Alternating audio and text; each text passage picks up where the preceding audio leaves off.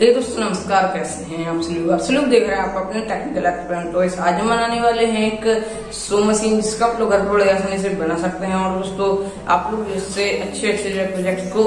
overview दे सकते हैं तो दोस्तों चलिए वीडियो को स्टार्ट करते हैं नमस्कार दोस्तों मेरा नाम योगी आप लोग देख रहे हैं टेक्निकल एक्सपेरिमेंट आओ कुछ करें